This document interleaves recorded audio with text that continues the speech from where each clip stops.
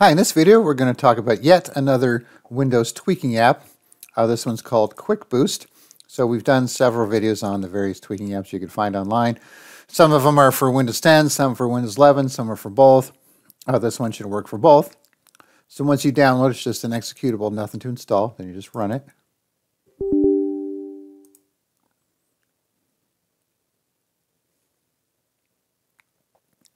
Now it's going to give you a warning saying to make a system restore point just in case something breaks. So obviously this is something you use at your own risk just like anything else that you find online. So say OK.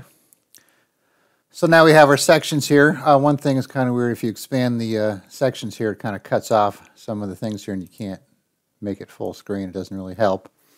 So you just have to go back and forth. So we have General, Advanced, Cleanup, Download, and Windows. Okay.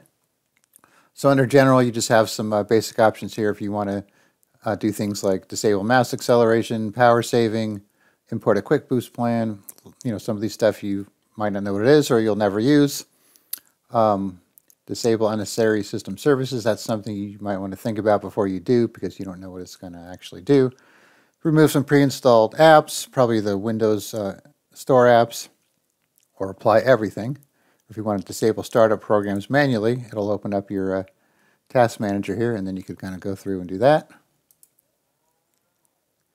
All right, then the next section here, which is advanced, some memory tweaks. Some of these things, it's just going to do it. So if you click on memory tweaks, it's not going to say what it's going to do. It's just going to do it.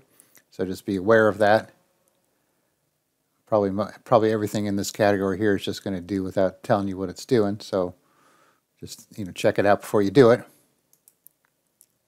Then the cleanup, if you want to clean temporary files,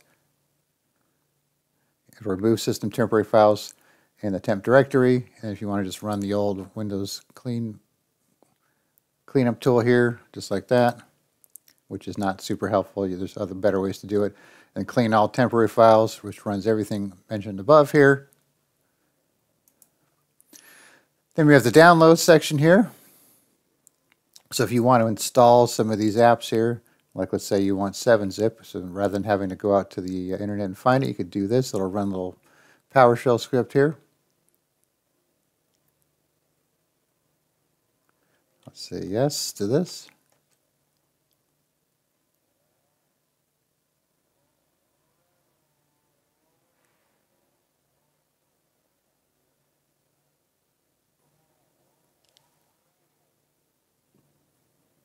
All right, so now let's see if we got it installed here. Right there, 7-zip, new app, just like so. And then stuff like this NVIDIA, you know, probably not going to apply unless you have an NVIDIA uh, video card. And then finally we have the uh, Windows settings here, you know, typical options for File Explorer, show hidden folder, show file extensions, hide file extensions. And then this is kind of cool too. So right now we have the Windows 11 new style uh, right click menu, we could do this. So when it does that, it's going to restart uh, Windows Explorer. And lots of times it kills your background when you do so. So now when we right click, we have the Windows 10 style. Uh, this will not work anymore. This used to work for Windows 11 to change the taskbar size, so this is not going to work for you, so don't even bother. And then if you want to show some of the default icons here in the taskbar, you could do that enable notifications or disable them, and same with clipboard history and transparency effects. So, you know, it's not a whole lot here, but it's something you, you can check out if you want to find a bunch of tools in one place and see how useful they are for you. So I will put a link in the description where you could download it, and then you could try it out for yourself. Just make sure to do a system restore just in case. All right, thanks for watching, and be sure to subscribe.